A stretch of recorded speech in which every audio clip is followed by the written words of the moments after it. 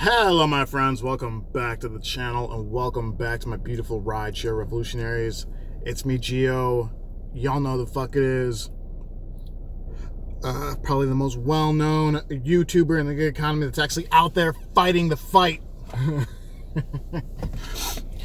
uh, during during the pandemic.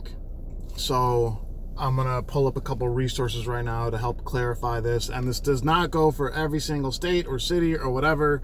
Um, your local laws might overwrite this. I, you know, it just like for example, uh, I've got members in my group chat that are from New Jersey, and they don't know if what's going on in New York City applies to them.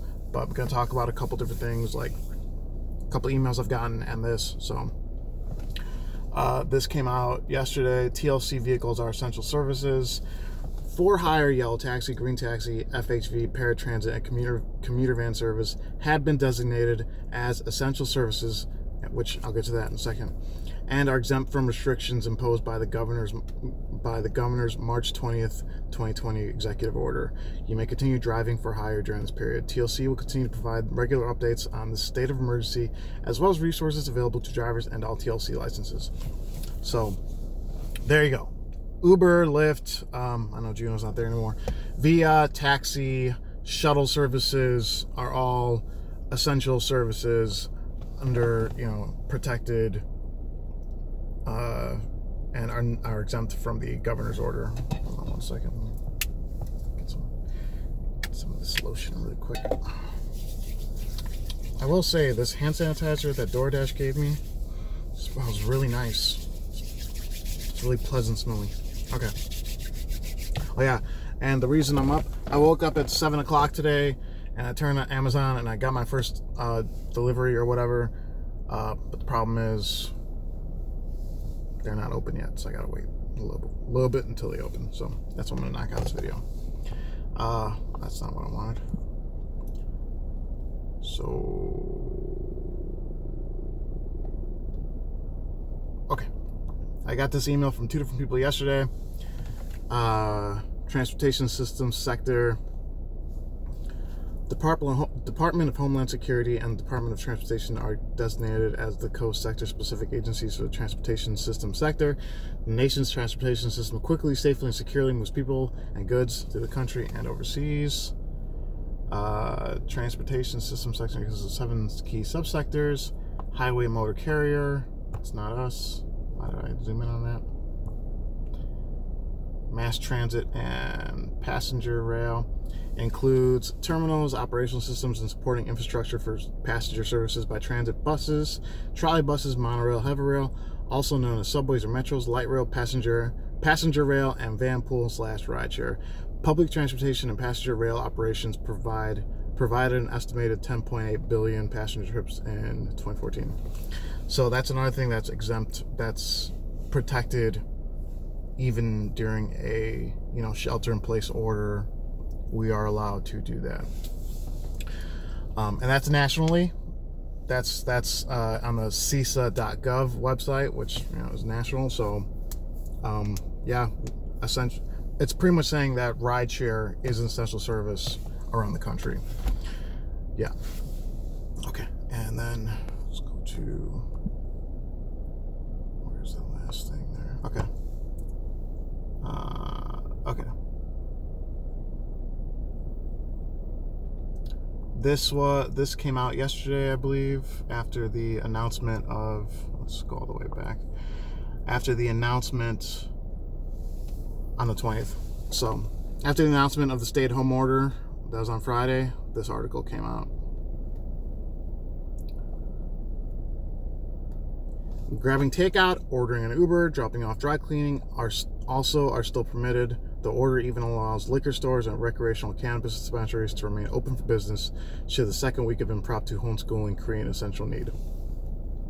Pritzker's orders include a long list of vital occupations that can stand the job healthcare workers, grocery employees, funeral home employees, pharmacists, hardware store employees, plumbers, electricians, daycare providers, bank tellers, and roles that are essential to supply chain. Police, firefighters, and paramedics can also keep working. Um, so there you go. So that's telling me as of right now, and this is like I said, I'm only speaking for New York and Illinois, like I say, if your state shuts down, you may very well not be allowed to carry out rideshare services and you may very well not be allowed to carry out food delivery and gig work. But at least for Illinois and um, for New York, we are protected. We are, like I said, I'm not going to go and say we are essential employees, but we are performing essential services. Okay, I'm to, I guess I have to go on record and say that. Um, so, yeah, guys, um, if you, if you, if you don't feel the need to get out there and do any kind of gig work, stay home. If you're gonna get out there and do gig work, I would highly advise against doing rideshare.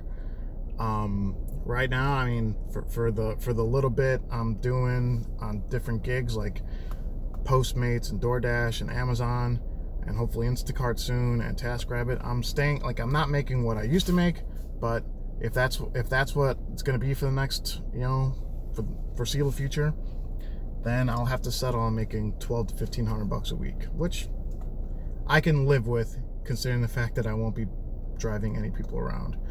Um, but for me, honestly, the, the, the, big thing for me is just staying busy, trying to make money. Um, I don't, you know, I know that we're going to be exempt from like certain bills and we're going to be exempt, you know, your, your landlords and everything are gonna, are gonna kind of give you a free pass on rent for a while. Um, I don't, that's not how I want to do things. I don't want to fall behind. That's not, I've I, I don't think I've been late for a bill in like fuck.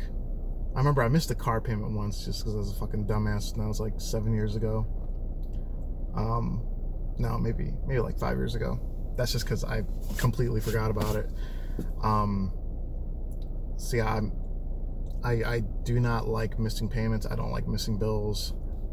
I want to come out of the situation better than how I came in and that means staying current on everything like that.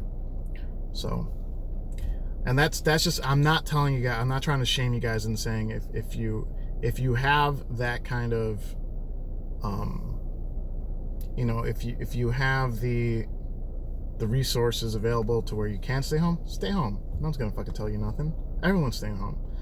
Um, but if you want to get out there and hustle you want to get out there and do your thing I I sincerely hope you're you're you're staying as safe as possible. You're going to keep your your you know you're going to keep your health as your number one priority, and yeah, that's right now the the they always say health is wealth. Right now, that's more true than anything.